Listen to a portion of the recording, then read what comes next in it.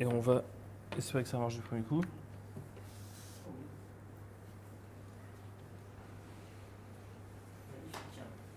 C'est bon? Donc euh, bonsoir à tous, Euh, moi c'est François Samin, je travaille chez OVH euh, dans l'équipe en charge du Continuous Delivery. Donc on y reviendra un peu à la fin de, de ce talk. Aujourd'hui je vais vous parler d'architecture modulaire et de plugins en Go. Euh, et en fait on va se poser une question euh, un peu plus large qui est, euh, bah, aujourd'hui on parle vachement de microservices, on parle même d'architecture microservices. Il y a quelques, années en fait on faisait des applications modulaires avec des plugins etc. Ah bah, finalement, où est-ce qu'on en est aujourd'hui? Et est-ce qu'à l'heure des microservices en Go packagés dans Docker, on n'a plus le droit de faire des, plugins? Ou est-ce que ça peut bien marcher ensemble? Je laisse deviner la réponse, hein, mais voilà. Donc d'abord, euh, qu'est-ce qu'une architecture modulaire? Hein Qu'est-ce qu'une bonne architecture modulaire? Et c'est quoi la différence entre une bonne et une mauvaise architecture modulaire? Toute référence aux inconnus serait fortuite. Ça, ça va flapper comme ça? Oui. On va fermer les yeux en même temps, que ça flappe. Ah, c'est bon, en fait, quand t'es debout, ça bouge pas. Alors, une bonne architecture modulaire est en fait une architecture dynamique. Alors, une architecture dynamique, une architecture statique, en gros, quand on lance l'architecture, l'ensemble du système, euh, bah, toutes ces composantes sont déjà connues, déjà chargées. Une architecture dynamique, en fait, c'est le système, c'est l'application qui va euh, recenser, mettre à disposition euh, bah, l'ensemble des modules. Et même, pourquoi pas, les utilisateurs vont pouvoir injecter leur, euh, leur propre module euh, dans le système. Un bon exemple d'une architecture dynamique, bah, c'est Jenkins que tout le monde connaît, où on peut, euh, à la volée, euh, on lui file un plugin, euh, il le digère plus ou moins bien selon la version du plugin, du machin, du truc. Mais en général, ça marche plutôt bien. Et en tant qu'utilisateur du système, on est capable de modifier le comportement du système. Donc ça, c'est une architecture dynamique. Du coup, la question, c'est est-ce que les architectures microservices sont-elles des architectures modulaires? Euh, On a envie de répondre oui, parce que les microservices, c'est trop cool, c'est trop hype. Mais en fait, les architectures microservices, je commence à en avoir vu quelques-unes, euh, c'est pas forcément ça. Donc, rapidement, on va voir euh, quelles sont les, les bonnes et les mauvaises utilisations de microservices. Alors ça, c'est le truc cool. Une, bonne architecture avec des microservices. On a euh, ici une web UI qui est un microservice, euh, un truc qui gère le catalogue, un truc qui gère les commandes, un truc qui gère la base de, users. Chaque microservice a sa propre base de données. On a des services qui sont, euh, bah, qui sont assez faiblement couplés les uns avec les autres. On dissimule vraiment le métier au sein du microservice. On le réutilise. Les services sont autonomes. Ça, c'est bien. Ça, c'est une bonne utilisation de microservices. Ça, c'est moins cool. Quand on commence à avoir des microservices qui sont interdépendants les uns des autres, euh, ou pire, c'est marrant, j'ai l'impression qu'on en parlait il n'y a pas si longtemps que ça, qui communiquent en passant par une base de données. après, ça reste mon point de vue, hein, vous en faites ce que vous voulez. Euh, c'est une mauvaise utilisation des microservices et même une mauvaise utilisation de- d'une base de données. Une base de données, c'est fait pour euh, stocker de la donnée, pas pour, euh, pas pour communiquer. Ou alors, c'est pas une base de données. Et le pire du pire, c'est d'avoir un super système microservice en fait, euh, qui s'installe euh, d'un bloc. Donc, on a des services qui sont tous dépendants les uns des autres, dont l'arrêt et le démarrage. les arrêts et le démarrage sont dépendants les uns des autres, doivent respecter un certain ordre. Donc ça, si vous en êtes là avec vos microservices, bah, c'est qu'en fait, euh, c'est un service qui se démarre en plein de petits processus, mais euh, ce n'est pas, des microservices. Donc ça, c'est à proscrire. Donc finalement, on parle depuis tout à l'heure d'architecture microservices.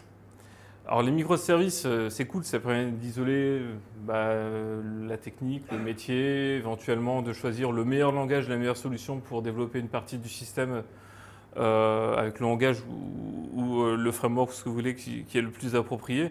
Mais en fait, euh, moi je pense que les architectures microservices, ça n'existe pas. les microservices, ça existe, mais on parle d'architecture orientée service. Parce que le, bon exemple qu'on présentait tout à l'heure, où on avait un faible couplage, etc., enfin les différents points, je ne me suis pas embêté. Je vais voir la définition euh, d'une architecture orientée service. Pour moi, le microservice, c'est c'est un ensemble de bonnes pratiques. C'est développer des choses un peu plus atomiques, être capable de les construire facilement, rapidement, de paramétrer facilement, rapidement, et euh, surtout des bonnes pratiques qui vont vraiment dans le mouvement DevOps en termes de, packaging, de déploiement et même de communication inter-équipe. Quand euh, euh, on, peut imaginer que le système qu'une équipe développe est un microservice de la part de l'équipe qui est en face. Donc voilà, les architectures microservices n'existent pas. Du coup, on a répondu à la question. Les architectures microservices sont-elles des architectures modulaires Non, parce qu'en fait, elles n'existent pas. Ceci dit, la question, c'est quoi une bonne architecture dynamique, une bonne architecture modulaire Donc vous me voyez venir forcément, comme le monsieur sur son escalator. En fait, la base d'une architecture euh, modulaire, euh, c'est des plugins. Des plugins. Alors si vous avez, vous avez le temps de voir le GIF, il n'a absolument aucun rapport avec le reste. Mais il m'a fait rire. Euh, donc les plugins ne sont pas des microservices et les microservices ne peuvent pas remplacer euh, des plugins. Donc on est au, meetup euh, Golang, on va parler de Go, on va en faire aussi là. donc quand on parle de plugin, on parle de Go, vous allez tout de suite me répondre. le Go, ça fait de la compilation statique, donc c'est pas possible de faire une architecture dynamique. Alors déjà, c'est faux pour deux raisons. La première, c'est que ça ne fait pas une compilation statique, enfin pas complètement. Et euh, alors, avoir Trump qui tremble comme ça, c'est super flippant. Et voilà. Et en Go, euh, même avec des binaires qui sont compilés quasi statiquement, on peut quand même faire une architecture dynamique. Donc là, je vais essayer de vous montrer. Donc tout ça, c'est un peu une introduction euh, de, ce que je vais vous montrer maintenant. Comment en Go on peut faire des plugins de manière assez cool. Et euh, en fait, il n'y a pas qu'une seule manière. Euh, je, vais vous en montrer cinq. Et ça, c'est quand même la classe. Donc la première manière de développer un plugin en Go, ça va être en fait super facile. Ça va être de lancer un binaire avec des arguments. Et ouais. C'est con, mais en fait, euh, souvent, ça marche. Alors, si vous voulez voir un peu de code qui fait ça, pour vous montrer que euh, même pour un Hello World... Bah si, je m'inquiète quand même. Même pour un, euh, même pour un Hello World à base de plugin, donc le système dit Hello et il charge un plugin pour faire World, et même en faisant un truc super con qui démarre un process en faisant os.exec, on est capable de assez facilement faire une architecture modulaire donc qui prend en charge euh, qui prend en charge le plugin, qui le met à disposition du reste du système et qui l'exécute. En fait, je ne vais pas réussir à vous montrer le code, c'est con. Parce qu'on est là pour ça. Ouais, mais moi je le vois pas en fait. Ça, en fait, je vais essayer de me mettre à votre place, mais c'est compliqué. Donc, moi si vous le voyez là, tant mieux. Donc le mail, on a fait un mail simple, j'ai fait une fonction register plugin euh, qui prend deux paramètres. Euh, le nom du package Go, donc euh, forcément c'est un peu long parce que j'ai fait plein de répertoires, et le nom de la commande qui sera exécutée. La fonction register plugin, elle est juste en dessous. c'est rigolo, elle fait un Go install. Plus gros? Ok.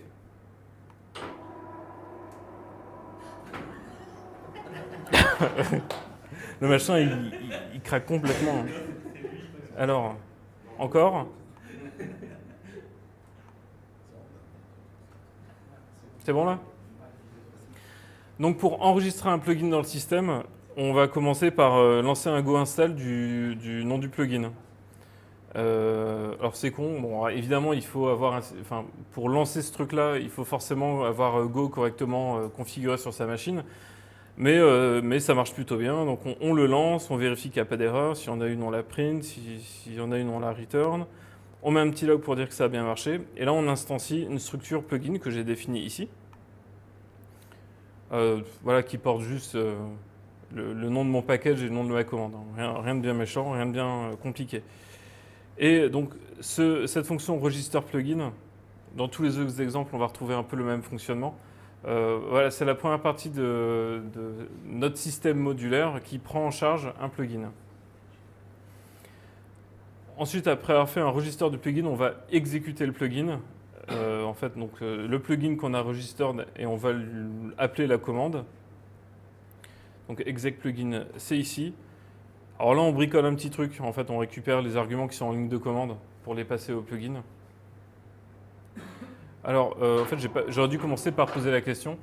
Est-ce que parmi vous, il y en a qui ne font pas du tout de Go ou qui n'en ont jamais fait? Ok.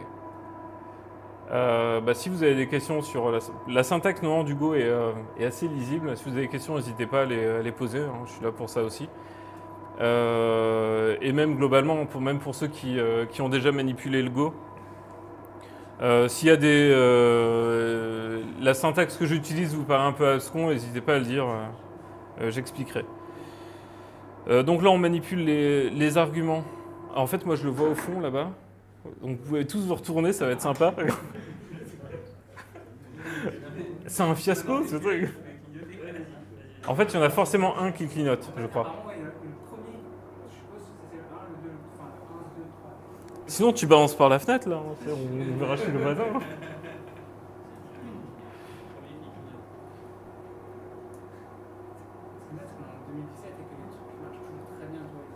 Ouais, mais maintenant, tu as une tablette tactile pour le piloter.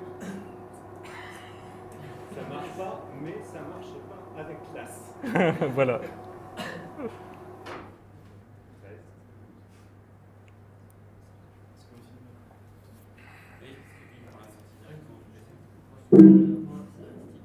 Il y a du son.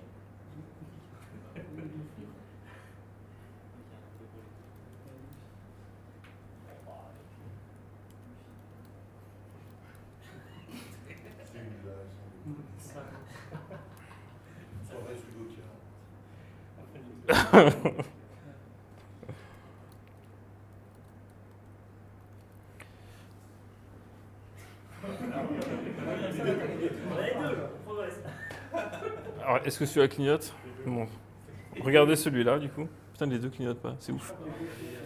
Je vais faire en sorte que celui derrière clignote en même temps que les autres. Euh, donc voilà, on exécute le, le, on, lance le plugin avec, euh, avec les arguments qu'on a passés sur, euh, sur la ligne de commande. Et après, on se contente tout simplement de faire le fameux. alors là, j'ai pas écrit os.exec parce que j'ai utilisé la lib différemment. Mais en fait, on, démarre le processus comme si on, était sur un, sur un shell on récupère, on récupère l'output, enfin le stdout et le stdr. Donc voilà, ça paraît tout con, mais en fait ça marche, ça marche assez bien. Et si vous voulez faire un truc à base de, de plugins euh, simple et rapide, en fait ça, ça, marche très bien. Alors je vais essayer de zoomer là. Ça. Encore. Voilà.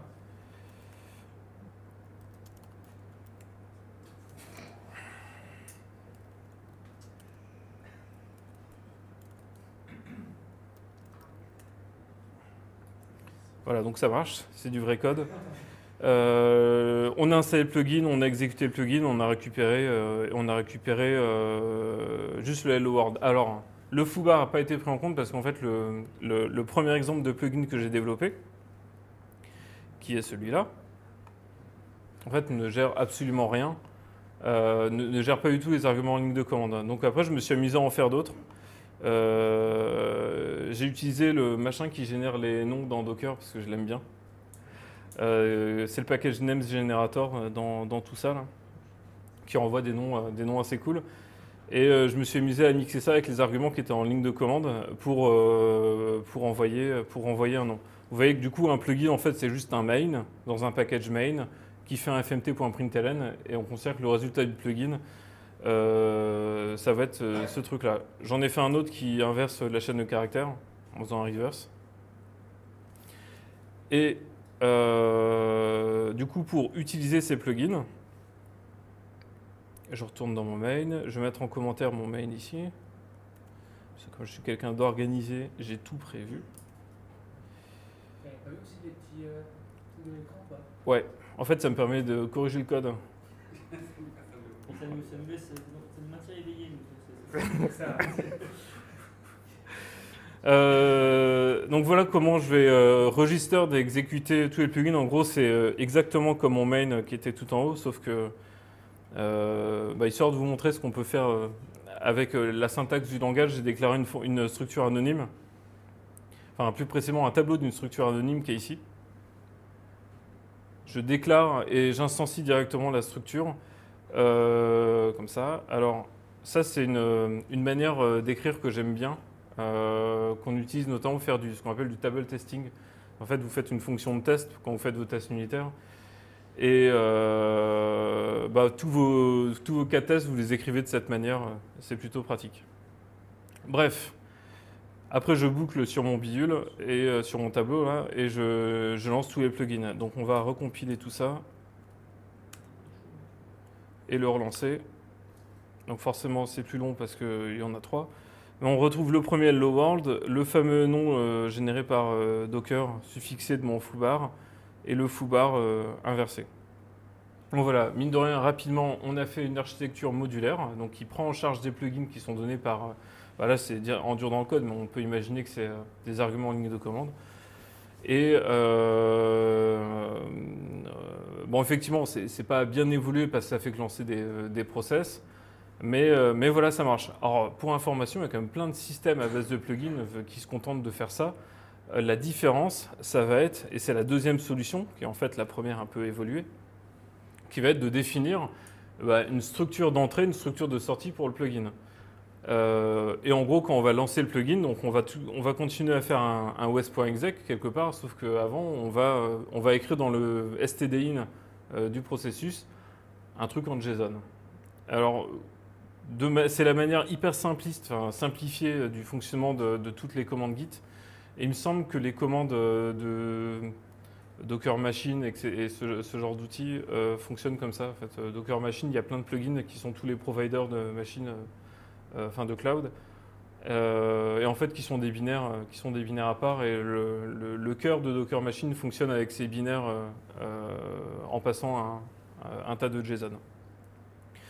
Euh, donc enfin, on, est proche du, fonctionnement euh, du système de plugin précédent, mais on a un truc un peu plus cool euh, qui va permettre de, bah, de s'assurer que ce qu'on en met en entrée et en sortie, bah, ça respecte quand même un certain euh, contrat d'interface. Quelque chose dont on n'a pas parlé, mais le contrat d'interface entre le système du plugin et le plugin, c'est quand même ultra important. C'est le problème du premier exemple où en fait on ne maîtrise absolument pas ce qu'attend le plugin en entrée. Enfin, on n'est pas sûr que le binaire qu'on lance ce soit pas un RM ou un RF étoile. Et, euh, et le machin que ça va nous renvoyer en sortie, on n'est pas capable d'indiquer aux utilisateurs qui vont développer le plugin, bah, renvoie un truc comme ça. Enfin, le contrat d'interface, c'est pas clair. Donc là, en, typant finalement l'entrée et la sortie, on fait des trucs, euh, des trucs un peu plus propres. Donc pour ça, on va commencer par, dans un package plugin, définir euh, un input et un output. L'input, c'est un tableau de string. euh, L'output, c'est une structure qui contient juste une string. Bon, rien de très compliqué, mais c'est juste un hello world. Euh, donc finalement, quand je vais vouloir développer un plugin, euh, qu'est-ce que je vais faire dans mon main? Donc on, a, on est toujours dans un package main. Dans mon main, je vais aller euh, lire le stdin euh, qui me concerne, donc le os.stdin. Euh, donc on passe un reader, ensuite on lit tout. Dans B, là j'ai un tableau de bytes qui contient tout, le, tout mon stdin. Et alors ça, si vous faites, euh, si vous faites pas de Go, c'est quelque chose que vous allez utiliser souvent. Euh, ça permet de prendre un tableau de bytes et euh, de le, de le unmarshaller dans la structure qui est juste là. Donc voilà, mon in ici, je sais si, je, si je suis sorti de mon, de, de, mon et de la vérification de son erreur, je sais que mon in en entrée, il est correctement, correctement construit et il est valide.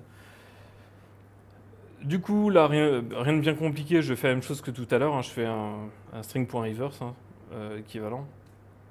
Après, je vais construire euh, bah, l'objet qui va, qui va porter mon retour.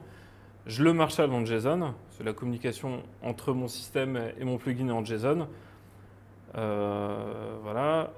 Et je print mon, JSON directement sur, sur ma sortie standard.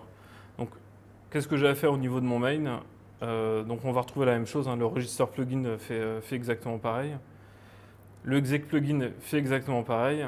Le run plugin, là c'est un tout petit peu plus compliqué parce qu'on ne manipule pas euh, du coup, les, les, arguments de la ligne de commande, mais le stdin, donc font passer par les, les libs assez bas niveau qui permettent de manipuler les des buffers et les entrées-sorties. run plugin, structure, machin, hop, c'est ici, je récupère le stdin ici, et là, tout ça là, c'est pour écrire dedans.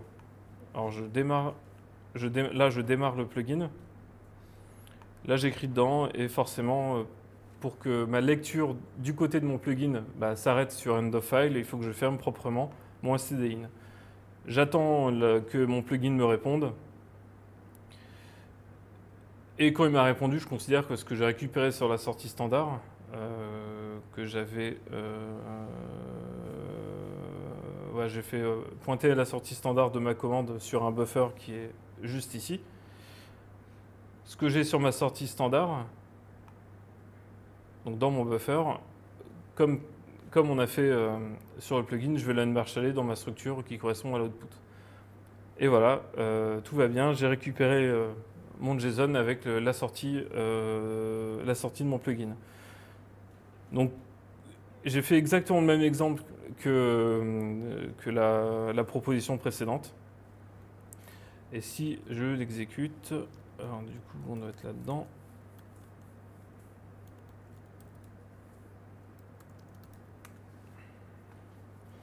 Voilà. Ça marche, c'est génial. Alors, ça répond à la même chose, mais là, on a un fonctionnement un peu plus intelligent où on a quand même l'entrée du plugin euh, qui est structuré, la sortie du plugin qui est structurée. Donc on a fait des structures simples, mais après, vous, évidemment, euh, vous pouvez imaginer ce que vous voulez. Euh, n'hésitez pas à m'arrêter s'il y a des questions, hein, que moi j'enchaîne. Troisième manière de faire des plugins en utilisant Docker. Alors là, du coup, ça devient, ça devient marrant parce qu'on peut imaginer que le plugin est dans une techno complètement différente. J'ai mon système qui est en Go, qui va enregistrer le plugin et qui va le lancer. Euh, et mon plugin, ça doit être un conteneur Docker que je vais lancer avec des commandes, mais ce qu'il y a dans le conteneur Docker, bah, je peux en faire abstraction. Euh, ça peut être euh, du Go, ça peut être du Java, ça peut être du Bash, et c'est ce qu'on va faire là. L'inconvénient, je vous dis tout de suite, de cette technique, c'est que forcément, il faut avoir Docker. Et donc sur un laptop, quand on dev, c'est facile, mais bon, quand on est sur un système qui est un microservice packagé dans Docker, ça devient tout de suite un peu plus chiant. On y reviendra après. Donc, là j'ai fait simple. Euh, j'ai utilisé une lib. Euh, ça, je, crois que c'est un mec de chez Docker qui fait, euh, qui fait cette, cette lib de ce client Docker qui implémente bah, toute l'API de Docker et, et l'API Swarm, enfin SwarmKit ce qui est plutôt pratique. Euh, donc au démarrage de mon, de appli dans la fonction init qui est appelée au chargement du package, euh, je vais instancier un client à partir de mes variables d'environnement. Euh, normalement sur un vrai système, vous passez des flags, des options, un fichier de conf, ce que vous voulez. Là je le fais à partir des variables d'environnement, donc ça c'est une fonction qui est, proposée par la libre. Parce que sur mon laptop j'ai déjà tout ce qu'il faut. Donc j'instancie mon client et euh, donc on va avoir le même fonctionnement, register plugin et exec plugin, mais le register plugin va être un peu plus compliqué cette fois-ci. Du coup, plutôt que de faire un go install d'un plugin en Go, des sources en Go du, plugin, on va pouler une image. Euh, on va pouler une image, donc en lui, passant le repository, le tag, et euh, si éventuellement il y a une, authentification à mettre sur votre registry, c'est à mettre dans cet objet-là. Euh, donc j'ai déjà poulé l'image, donc ce ne sera pas trop long. Après, pareil, on instancie un plugin en lui passant euh, toutes les infos. Le exec plugin là est un peu différent parce qu'on doit créer un conteneur Docker et démarrer le conteneur Docker et récupérer la sortie standard et la sortie d'erreur du conteneur. Du coup, qu'est-ce que j'ai fait comme exemple? Voilà, j'ai fait un exemple, j'ai fait un plugin à base de Debian Jessie. Donc euh, ça, c'est le nom de l'image le nom du tag, et ça c'est la commande que je vais passer à l'image, et tout ceci va constituer mon plugin. Donc c'est juste un hello world, mais vous imaginez même pas toute la techno qu'il y a derrière. Euh, et ouais, c'est un bon exemple que bah, le echo, c'est un echo, c'est le echo. Ça pourrait être un truc en Java, ça pourrait être un truc en Scala si vous voulez, ou, euh, en Erlang, pourquoi pas. Euh, et là, c'est intéressant, c'est du coup, on a vraiment un découplage euh, est, euh, qui est cool entre le, système et le, plugin. Euh, donc là, l'interface, elle n'est pas typée, mais on peut imaginer faire la même chose hein, que dans l'exemple précédent, enfin, la typer avec un type et le, lui passer en JSON, c'est un serialisé en JSON. Ah, Vous avez compris le principe, on passe juste l'argument en ligne de commande comme ça, mais ça offre pas mal de, possibilités. Donc voilà, si vous cherchez du code pour un exemple de code pour euh, créer un conteneur et lancer un conteneur et récupérer sortie sortie standard, ça paraît simple comme ça, mais en fait, la doc étant ce qu'elle est, c'est pas si évident que ça. Euh, donc voilà. En fait, d'ailleurs, j'en profite pour dire que tout le code, je l'ai déjà poussé sur l'organisation Golangren sur euh, sur GitHub. Donc euh, normalement, le code compile. Euh, vous pouvez euh, le récupérer, en faire ce que vous voulez, c'est cadeau. Donc on crée le conteneur, on démarre le conteneur, on récupère les logs du conteneur, c'est ça qui est chiant à faire. Et, euh, après on affiche bah, ce qu'on va récupérer dans le buffer. Donc si on le lance, donc c'est possible que ça ne marche pas, parce que c'est Docker. Mais normalement, ça devrait bien se passer. Euh, Donc ça a marché. Donc voilà, on peut imaginer euh, tout ce que ça a fait derrière. Si je fais un docker ps-a, normalement je vais récupérer mon plugin ici. Euh, en fait, je ne sais pas si vous avez vu dans le code, mais quand je crée le plugin, euh, là-dedans, enfin, quand je crée le conteneur qui correspond au plugin, je lui passe un petit nom qui est là. Et, bien, et c'est bien, c'est bien le nom qu'on a ici. Donc voilà, donc ça c'est une manière plutôt cool de faire des plugins. Enfin, sur le, papier j'aime bien parce que ça permet d'utiliser des langages différents entre le système et le, plugin. L'inconvénient c'est que euh, voilà, lancer, euh, permettre, si, on dit que le système de plugin est ouvert aux utilisateurs du logiciel, permettre à des utilisateurs de lancer n'importe quelle commande Docker sur un host euh, qui ne lui appartient pas, ça peut être un peu dangereux. Donc moi je trouve ça marrant à faire, mais, mais c'est pas ce que j'utiliserai. Donc je vais plutôt vous présenter une autre alternative euh, qui est dispo dans la version 1.8 de, Go qui va sortir, si je ne m'abuse, la semaine prochaine ou la semaine d'après. Euh, la nouveauté dans cette version 1.8 de Go, c'est qu'on peut euh, builder des plugins. Voilà. Donc en fait, tout ce que je viens de vous présenter avant, vous pouvez l'oublier. C'est comme ça qu'il faut faire. Non, en fait, euh, c'est pas tout à fait vrai parce que le, mode plugin pour l'instant, euh, donc euh, est en- c'est en RC3, donc c'est pas encore, euh, c'est pas encore en stable, mais ça, ne saurait tarder. Et surtout, ça marche que sur Linux. Euh, et euh, bon, ça fait, euh, ça fait l'équivalent d'un DL Open, donc euh, ça, charge un point SO. D'ailleurs, quand on compile ce truc-là, ça génère un point SO qui est chargé euh, du coup par, euh, bah, par, euh, par Go, par le runtime de Go. Euh, J'ai fait plein de tests. J'ai mis un certain temps à comprendre pourquoi euh, du code qui marchait ne marchait plus, il remarchait sans que je touche au code, juste à l'exécution. J'ai- Ouais, pas tout compris parce que le code, euh, enfin c'est du code C qui est, euh, dans le Go, il n'est pas hyper simple. J'ai l'impression qu'il y a un peu des race conditions dans le. Il y a une grosse, grosse map en fait de tous les points SO qui sont chargés dans le runtime de Go. Et je ne serais pas surpris qu'il y ait des race conditions dedans. Euh, donc voilà, en tout cas c'est prometteur, ça existe, je pense que ça va s'améliorer. Pour l'instant, voilà, faut pas trop trop miser dessus. Mais ça marche bien. La compilation est un peu longue, mais, euh, ça marche pas mal. Alors si vous voulez du, code, ça va ressembler. Alors il y, a- du code, je vous ouvre la page ici. Voilà. Je, peux- vais agrandir un peu. Donc là on est sur, sur euh, type.golang.org, qui est le, namespace de la dernière enfin, de la version en cours de dev de, Go. Et euh, dans le, on a un package plugin hein, qui est à la racine euh, du, SDK. Et euh, en fait, voilà, sur un plugin, on peut faire open lookup. J'y reviendrai après. Et il y a un exemple de code. Alors ça va faire du code un peu moins, un peu moins élégant, je trouve. Mais bon, alors c'est pas ça déjà, c'est ça. fermer celui-là. Alors, qu'est-ce que. Ouais, alors là, le, du coup, dans le registre du plugin, j'ai pas fait de. J'ai compilé à la main les, euh, les plugins avant. Donc on considère que le, plugin, euh, on lui file des points SO déjà, euh, enfin, déjà compilés.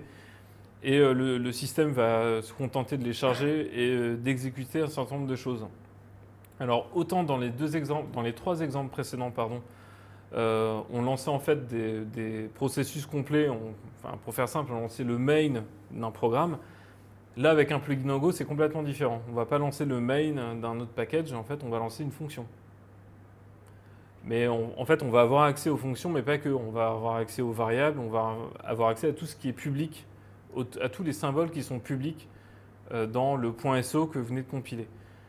Alors, pour l'instant, le .so, euh, voilà, pour construire un package, il y a des trucs bizarres. Je vais vous montrer. Voilà à quoi ça ressemble. C'est un package, c'est donc euh, c'est un programme euh, donc qui commence par un package main dans lequel il n'y a pas de fonction main. Donc là, mon éditeur, je ne sais pas pourquoi il gueule pas trop, mais normalement, les versions précédentes de Go, un package main sans fonction main dans le package, il refuse, il n'aime pas du tout. On doit faire des imports qui ne sont pas utilisés, par exemple C. Donc là, si vous utilisé des outils qui gèrent les imports, genre Go Imports, bah, il faut le désactiver, parce que sinon l'import il va se faire dégager à chaque, à chaque sauvegarde. Euh, et finalement, euh, donc. Ouais, ou un alias underscore, ouais. Mais euh, et voilà, ce qu'on va, tout ce qu'on expose dans ce, dans ce point SO qu'on va compiler. Euh, donc là, ça va être une fonction, que ça peut être une variable ou, euh, ou un type, ce que vous voulez. Bah, ça va être un symbole. Ça, c'est le nom du, le nom du type qu'on récupère euh, de l'autre côté, et on va pouvoir l'appeler. Alors, comment on va pouvoir l'appeler? Donc, register le plugin, le, le plugin, on register le plugin, on fait un plugin.open. Donc là, ça fait en équivalent C, c'est un DL open, hein, rien de bien compliqué.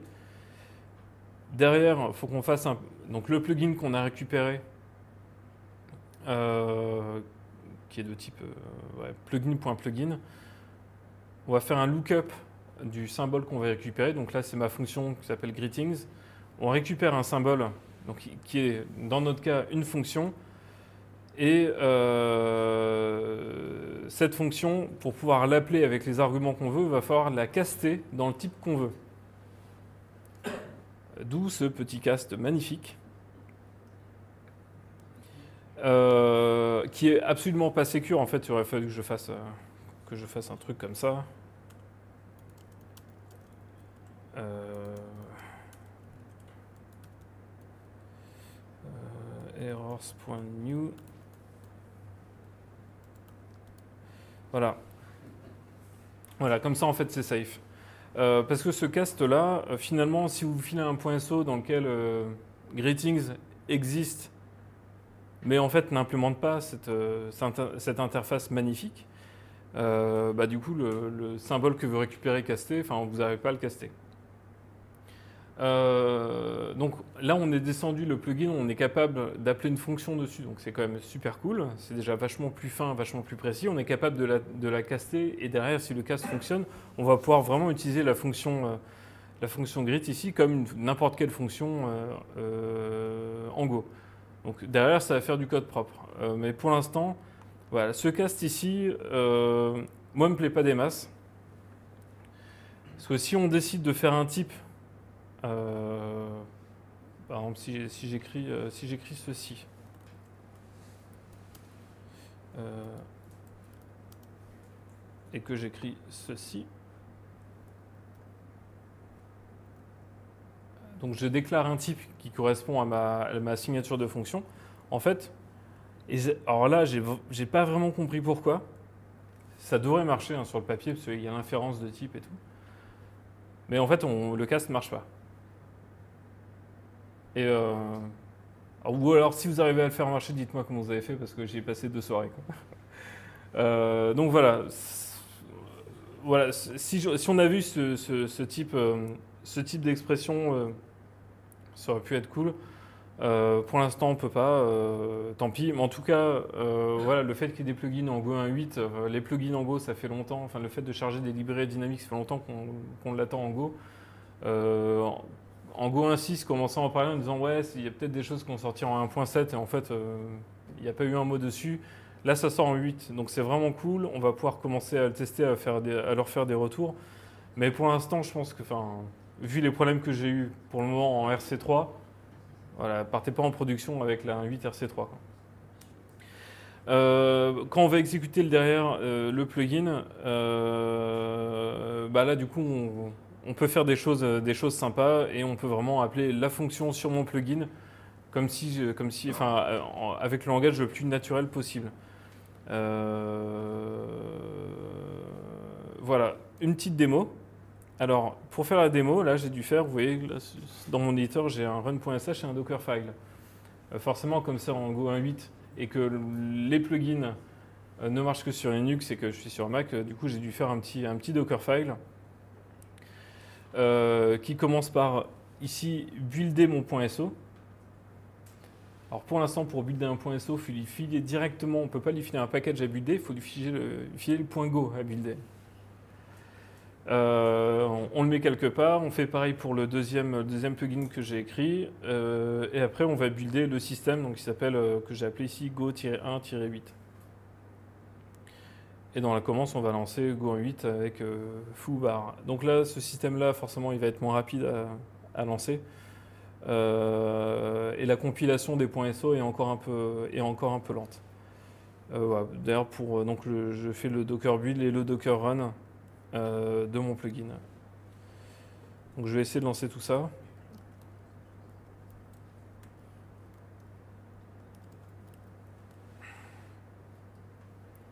Donc c'est quand même assez rapide parce que j'ai tout buildé avant. Enfin, je, ouais, ok. Donc là, il build le premier plugin.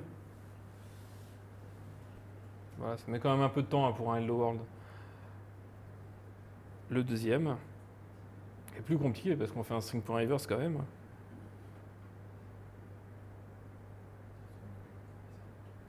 Le reste du système, on affiche ce qu'il y a dans tout ça, on lance le truc et ça marche. Euh, donc voilà, en fait, à l'avenir, la, la- la- la vraie bonne manière de faire des plugins en Go, ce sera de les builder en .so et de les charger. Après, si vous avez rien, si vous avez rien évidemment, contre le fait de charger des .so, parce qu'il y a pas mal, de, enfin, pas mal de gens qui, peuvent, consi- qui considèrent que, euh, que charger un .so dans un système euh, où potentiellement on va gérer des secrets, des credentials, etc., c'est dangereux. Euh, et c'est pour ça qu'il euh, y a une boîte qui s'appelle HashiCorp, euh, qui fait un tas d'outils euh, cool, euh, genre, euh, genre Terraform, genre euh, Vault, et notamment Vault, euh, je ne sais pas si vous connaissez Vault.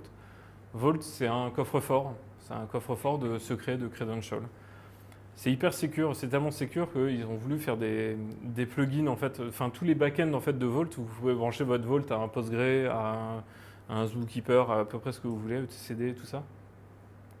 Euh, tous les backends, en fait, c'est des plugins. Donc, euh, vous pouvez vraiment euh, euh, déployer Vault sur euh, l'infra que vous voulez, l'infra que, vous avez. Euh, mais voilà, ils considèrent pour des raisons euh, certainement très justifiées que charger un .so c'était trop dangereux, donc en fait ils ont développé leur propre euh, moteur de plugin qui s'appelle GoPlugin, euh, qui communique par euh, RPC. Donc on- ça fait exactement comme euh, euh, les deux premiers exemples. On va lancer finalement, en fait, un plugin ça va être euh, ça va être un programme Go donc avec un main et une fonction main qui en fait va lancer un serveur RPC. Et de l'autre côté, du côté du système, euh, du, système qui va manger ce plugin, euh, ce système va être client de ce serveur RPC et la communication va se faire en RPC entre les deux. Euh, donc ça, ça. Les RPC, c'est si bas niveau, donc on a des perfs intéressantes. Ce qui est bien, c'est qu'ils ont du coup euh, pack- packagé le truc de manière, euh, de manière plutôt sympa. Et puis bon, c'est l'avantage aussi du RPC, c'est que du coup, on peut appeler au niveau fonction. Donc on n'est plus à appeler un main qui doit, qui n'a qu'un seul traitement. On peut définir bah, une interface complète d'un plugin avec plusieurs points d'entrée, plusieurs fonctions. Euh, par exemple, on pourrait charger un plugin, commencer par lui demander son nom, lui demander bah, quels sont les paramètres avec lesquels il faut que je t'appelle. et euh, derrière appeler une fonction bah, qui, euh, qui fait le traitement. Et tous ces appels en fait vont être des échanges RPC. Et, en RPC, ça va faire qu'une seule connexion TCP ouverte. Donc on a des, perfs qui sont, plutôt sympas. Je crois que. Alors, mon boulot, c'est de, mettre en place du continuous delivery euh, à OVH. On, travaille sur un outil euh, qu'on a open sourcé en octobre dernier qui s'appelle CDS. Euh, le nom est d'une originalité folle, mais au moins on sait ce que ça fait. Et comme tous les outils de continuous integration, continuous delivery, etc., à un moment donné, on s'est dit, bah, il faut qu'on permette aux utilisateurs de développer leur propre truc autrement qu'en shell. Euh, et euh, bah, on va mettre en place un système de plugins. Euh, donc on était en Go 1.6 à l'époque, donc on est parti sur Go Plugin qui était la manière la plus avancée de faire des plugins.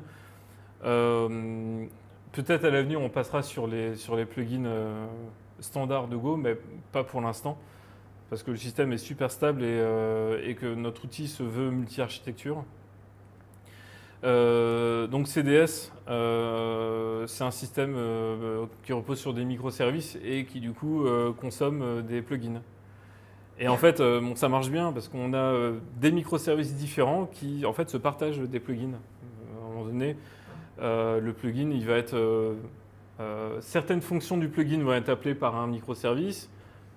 Et puis d'autres fonctions de plugin vont être utilisées par un autre des microservices. Et tout ça va communiquer de manière quasi harmonieuse. Alors très rapidement, je ne vais pas vous faire une présentation de CDS parce qu'en fait, il faudrait un peu plus que... Je ne sais pas combien de temps j'ai pas- j'ai passé, il me faudrait un peu plus que 20 minutes. Euh, mais euh, bon, c'est comme plein d'outils de continuous delivery, ça gère des pipelines qui, euh, dans lesquels il y a des stages, des actions, enfin des stages, euh, des jobs, euh, des steps dans les jobs et euh, bah, vous pouvez paramétrer vos steps en disant bah, je vais faire un git clone, en fait je vais faire un go build et puis après je vais prendre l'artefact et le, mettre dans une image Docker et puis après je vais lancer, déployer mon image Docker sur Marathon. En fait, euh, il y a plein de trucs qui vont se faire avec des plugins là-dedans. Du coup, c'est assez sympa à développer. Donc, alors présentation rapidement de l'architecture de CDS. On parle de microservices. Euh, CD- CDS à la base, c'est, voilà, on a une API, euh, une UI et une CLI et une base de données. Voilà, c'est, euh, complètement dingue comme architecture, mais euh, ça marche bien. En fait, c'est un peu plus compliqué que ça. Euh, parce que ce qui fait vraiment le boulot du continuous delivery, on a deux microservices, euh, enfin deux types de microservices. On a des, hatcheries. Euh, hatcheries, ça veut dire couveuse euh, qui vont en fait pour répondre aux besoins en termes de, de, de d'installation de pipeline, pour effectuer les actions, lancer les plugins, euh, vont démarrer des workers euh, qui vont effectuer eux précisément les actions. Donc on a plein de hatcheries différentes pour pouvoir lancer les workers sur des infras différentes. On peut lancer des workers sur euh, du Mesos Marathon, sur du Docker, sur du Swarm, sur, euh, on peut avoir des workers qui sont des machines OpenStack complètes, euh, ou avoir un worker en local euh, sur, sur sa machine. Euh, en fait, c'est un peu plus compliqué que ça et euh, on a utilisé les plugins pas que pour les workers effectuer des actions, on a utilisé les plugins aussi pour se connecter à Vault. Vault qui lui-même utilise des plugins. C'est un peu particulier. Pourquoi on a dû utiliser des plugins pour se connecter à Vault? Bah, Tout simplement parce que dans notre boîte, on utilise Vault beaucoup. Euh, mais en fait, on a fait une surcouche à Vault avec des notions métiers en plus qui sécurisent encore plus fort. Et du coup, le Vault, l'API de Vault qu'on utilise n'est pas l'API standard de Vault. Et c'est super chiant. Euh, du coup, il y a un plugin, si vous allez sur le, sur le repo de CDS, vous allez trouver le, euh, bah, le plugin Vault officiel. Et chez nous, on a un repo avec notre plugin Vault à nous, qui font quasiment la même chose à 2-3 notions, euh, no- notions près. Euh, mais voilà, c'est un des trucs qu'on a dû faire quand on a open sourcé en urgence du jour pour le lendemain. Euh, le produit, on a dû développer le connecteur à Vault euh, qui était codé en dur, parce que c'était cool de se connecter à Vault, on a dû le rendre, enfin le transformer en système de plugin. Donc ça, on a mis peut-être une ou deux journées, sachant que l'interface est, pour communiquer avec Vault n'est pas simple. Une ou deux journées, c'est pour mettre en place ce système de plugin, euh, alors je sais pas si ça paraît long ou rapide, mais en fait c'est assez long. C'est assez fastidieux de mettre en place euh, Go Plugin, de définir son interface, parce qu'on passe par du RPC, parce qu'il y a de la sérialisation binaire. Je, reviendrai après, c'est assez fastidieux. Pour en venir à l'architecture de CDS, euh, l'API se connecte à Swift, donc c'est euh, OpenStack, euh, pour stocker bah, tout, enfin, plutôt que de stocker les fichiers en, local, on peut le faire aussi, mais nous on préfère utiliser un stockage distribué, euh, le stockage distribué d'OpenStack. En fait, nos plugins, ils vont être euh, le- quand le système va manger les plugins, on va l'alimenter avec un nouveau plugin. Le plugin, il va être analysé, vérifié, et puis après, on va l'envoyer sur, sur Swift. On voit, le plugin il commence à être utilisé euh, par l'API, donc euh, via l'interface euh, web ou via la CLI. On va lui dire, bah, tiens, voici un nouveau plugin, s'il te plaît, installe-le. L'API va le prendre et va l'envoyer sur Swift. Un peu plus tard, quand le plugin va être utilisé dans un pipeline, bah, ce plugin, le worker, va aller le télécharger directement, enfin pas directement depuis Swift, on va le streamer depuis l'API.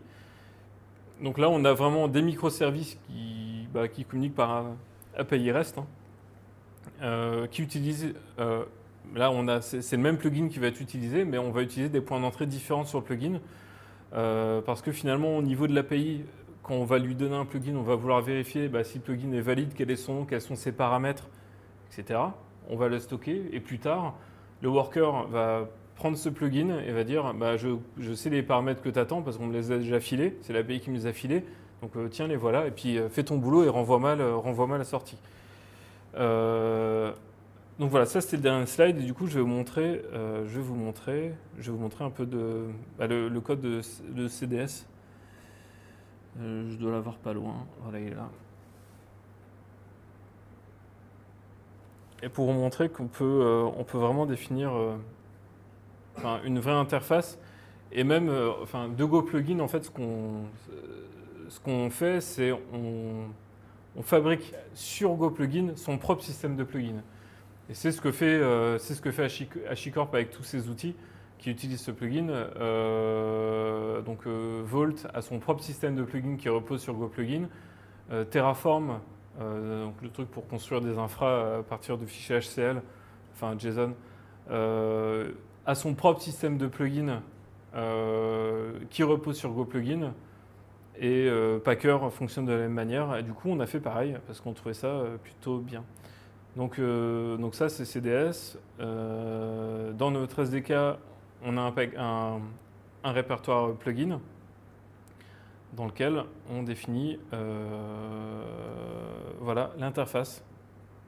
L'interface d'un plugin. Un plugin doit implémenter cette interface. Euh, il y a une fonction d'init quand on lance, on a besoin de lui passer un certain nombre d'informations, genre comment tu te connectes à l'API, ce genre de truc. Euh, le nom, la description, euh, l'auteur du plugin, les paramètres avec lesquels il va falloir lancer l'action. Donc ça, ça va être la fonction run. Et derrière, il y a tout un tas de merde avec des noms impossibles. Et il y a surtout ceci. Et ça, c'est le truc qui est vraiment super pénible avec Go Plugin. C'est que en Go, quand on fait du RPC, on utilise la sérialisation binaire de Go qui s'appelle GOB. Euh, et ça, ouais, je l'ai quand même utilisé, ça reste encore un peu mystérieux pour moi. Il faut lui définir. Alors pour euh, tous les types, enfin quelque part c'est logique, hein, mais pour tous les types qu'on va écrire sur le flux RPC, il faut définir une interface, enfin, qu'on puisse le, puisse le manipuler en tant qu'interface. Enfin, c'est l'histoire des stubs et des, skeletons quand on faisait du Corba euh, dans les euh, années, je ne sais plus combien. Euh, et donc ça, c'est dans la doc de Go Plugin, euh, c'est pas du tout expliqué. C'est un, un peu chiant à faire parce que voilà, nous on a voulu faire des choses un peu typées à tous les niveaux. et en fait, on oublie toujours de faire le register d'un type. Euh, et sauf que ça, on le voit qu'à l'exécution, on ne voit pas, on le voit pas à la compilation. Ce qui veut dire que le plugin doit être impérativement écrit en Go. Ouais, pour l'instant, ouais. Euh, en plus, enfin, là, on est un peu bloqué par, euh, par le fait que ce soit du RPC à la sauce Go, donc avec la sérialisation, la- avec la sérialisation GOB. Moi, ce que j'aimerais bien, c'est qu'on puisse ne pas faire cette sérialisation GOB et ne pas passer par, par du RPC, mais plutôt par du gRPC, pour qu'on puisse tu vois, écrire un, plugin dans bah, dans n'importe quel langage, euh, sachant qu'il y a énormément de langages qui supportent, euh, qui supportent le gRPC, euh, ça me plairait bien. Pour l'instant, on n'en est pas là, mais, c'est- une idée que, j'ai en tête, effectivement. Donc voilà, ça c'est le, type. On doit implémenter un client RPC, un serveur RPC. Donc ça, pareil, c'est pas du tout écrit dans la doc. Donc si vous voulez le faire, en fait, je pense que le bon exemple, c'est aller voir le code de CDS pour le faire parce que c'est vraiment pénible. Euh, et tout, en fait, on doit voilà, implémenter euh, un client et un serveur RPC qui ont quasiment la même interface que le plugin. Euh, je dis quasiment parce que en fait, ça, ça va être le même nom de fonction, mais pas avec les mêmes arguments. C'est-à-dire que malheureusement, tout ça n'est pas vérifié à la compilation, mais à l'exécution.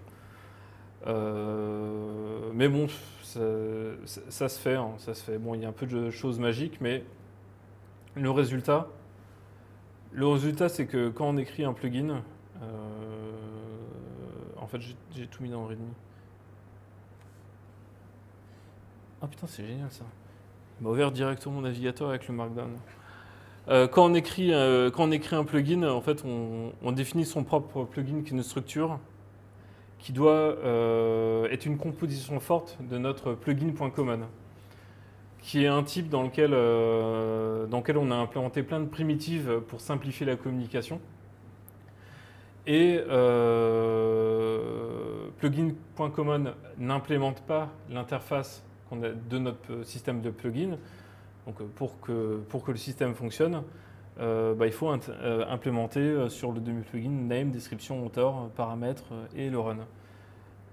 Donc derrière, pour écrire un plugin, c'est vraiment super facile.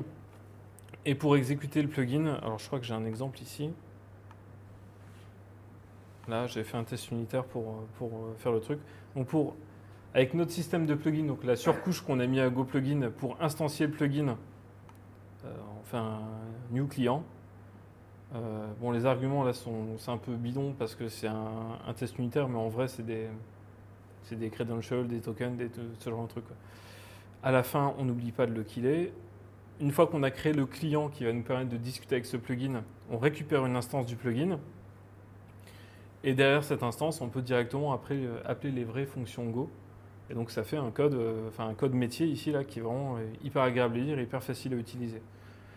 Euh, donc pour l'instant, c'est euh, la solution GoPlugin et ce qu'on peut cons- construire sur GoPlugin en Go, c'est la, solution qui me paraît la plus aboutie pour avoir un vrai site, enfin une vraie architecture euh, modulaire et dynamique. On peut pas, comme on faisait avec les plugins Docker tout à l'heure, effectivement, écrire un plugin dans n'importe quel langage. Il y a quand même peu de systèmes à base de plugins qui permettent de le faire, mais ce serait, ce serait quelque chose à améliorer dans, dans GoPlugin. Euh, GoPlugin sur lequel, euh, bah, qui, est vraiment super stable, c'est utilisé dans tous les outils HashiCorp, sauf Vagrant, qui est écrit en Ruby, je crois. Euh, c'est euh, vraiment hyper stable. hein. Euh, vous pouvez y aller. Les perfs, une fois qu'on a, récupéré un client, c'est du TCP, donc euh, vaut mieux le faire comme sur du. Puis c'est des connexions longues TCP. Euh, donc vaut mieux rester euh, soit sur host ou alors sur- avoir un, sur un LAN où le réseau est super stable, sinon ça, fait des choses bizarres. Nous, on s'est pas pris la tête, du coup, tous les, tous les plugins, quand on les lance, on les lance en, sur le même host, donc on contacte uniquement localhost. Voilà. Euh, donc on a un réseau, un réseau qui est stable. Qu'est-ce que je voulais dire d'autre? Ouais, donc euh, GoPlugin, il n'y a plus énormément d'activité sur le repo. Euh, je pense qu'ils attendent de voir euh, ce que va donner euh, les plugins natifs de Go. Je pense qu'ils attendent de voir aussi l'adoption de gRPC, qui est sorti il y a quoi 3-4 mois en, en, release 1- 1.0. Donc voilà, c'est un domaine, les architectures modulaires et les plugins en Go, qui est assez jeune.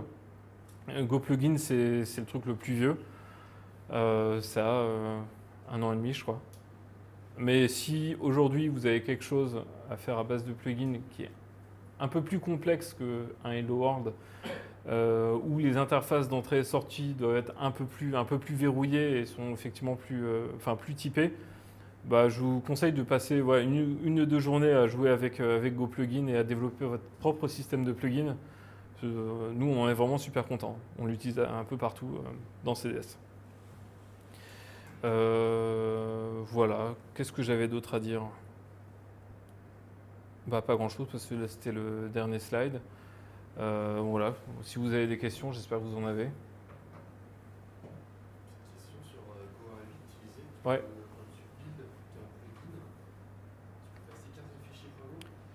Ouais, après le fichier peut euh, utiliser des choses dans son package. Ça reste un package, mais tu peux avoir, enfin tu peux pas lui demander de, de compiler tout un tout un package main. Parce qu'en fait, compiler tout un package main, je pense que le, compilateur Go, il doit s'attendre à, un main dedans. En tout cas, peut-être que c'est censé marcher. Dans tous les exemples que j'ai vus, et dans toute la doc, à chaque fois, on passe le point Go à builder. Quand j'ai essayé de builder euh, des packages, euh, j'ai eu plein d'erreurs différentes. Euh, mais bon, après, c'est euh, pas en- encore sorti en stable. hein, donc, on- ouais, pour l'instant, on passe un point SO. Enfin, moi, je passe un point SO. J'avais essayé aussi, en fait, tu peux pas fonctionner avec un package, euh, c'est forcément un point Go. quoi. Ouais. Il y a Oui, Go, pardon. euh, ouais, bah, sur le test que j'ai fait, j'ai pas eu de problème de. Enfin, tu vois, même si ton point Go il, a des dépendances vers d'autres euh, vers, euh, vers d'autres packages qui sont dans ton Go Pass, je, je pense que ça se passe plutôt bien. Ce que j'ai pas testé, c'est si au sein de mon package main, si je veux vendor des dépendances, est-ce que le compilateur va s'en sortir? Je suis pas allé jusque là. bon, peut-être à tester plus tard, quoi. Et euh, en plus, vous avez vu, enfin, la compilation de .so, euh, euh, ça met un certain temps. euh, on passait plus de temps tout à l'heure à compiler le, le, le plugin que tout le système dans lequel il y a quand même plus de dépendances. quoi. Ouais, ça fait. Ouais. Du coup, j'imagine que si on fait un système à base de, de plugins en utilisant les plugins natifs, je pense qu'on est obligé de garder CGO et de garder les dépendances, enfin les bindings sur la glibc. Ça paraît très logique. Euh, du coup, si vous voulez faire tourner tout ça dans une Alpine, euh, enfin, vous- clairement, vous oubliez quoi. Tu fais comment pour gérer du coup le versionning de tes Bah, pour l'instant, on le gère pas. Voilà. Euh, de la en fait, quand on enregistre le, plugin, le plugin devrait, s'enregistrer avec un numéro de version. Mais euh, en fait, c'est ça qui est pénible avec GoPlugin, c'est que changer quelque chose dans l'interface, euh, c'est c'est vraiment galère. Parce qu'on oublie toujours de register un type quelque part. On oublie toujours de modifier soit le client RPC ou le serveur RPC. Donc je ne l'ai pas encore fait, mais il faudra que je passe par là. T'es t'es vraiment obligé de passer par, euh, par l'encodeur euh, binaire du coup Parce que Drone, Drone, qui est un autre système de continuous delivery, eux ils mixent carrément. C'est-à-dire qu'ils lancent un conteneur Docker avec un truc RPC dedans et ils se connectent dessus. Et euh, dans la présentation de la Go, le mec il avait l'air de dire qu'a priori, euh, lui, euh, ses plugins pouvaient être dans n'importe quel langage. donc, euh, Ah en, en fait, si tu fais du RPC, euh, si tu passes du pur, si tu fais du pur RPC, tu, c'est du RPC, tu, fais- faire passer n'importe quoi. Et il se trouve que dans GoPlugin, pour des raisons de performance, ils ont choisi Gob comme encodage. Et, euh, et du coup, ouais, ça va avec ses contraintes. Mais c'est vrai que Gob, par rapport à du JSON ou par rapport à une sérialisation, euh, ou en ce que tu veux, Gob, c'est enfin, c'est vraiment ultra rapide. Parce qu'en fait, tout le système de sérialisation, quand on fait un, dans, la- fonction init, quand je faisais un register du type, en fait, le serializer, il est, il est, euh, il est instancié à ce niveau-là. Après, c'est toujours le même qui est utilisé avec. euh, euh, donc, on- enfin, c'est vraiment la sérialisation par rapport à du JSON. Enfin, c'est incomparable. hein.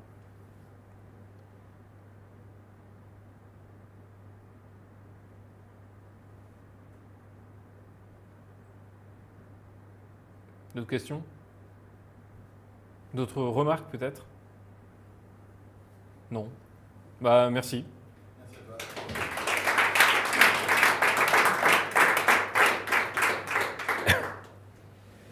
Merci désolé pour l'écran. C'est un peu perturbant quand même. Bah je, je- maintenant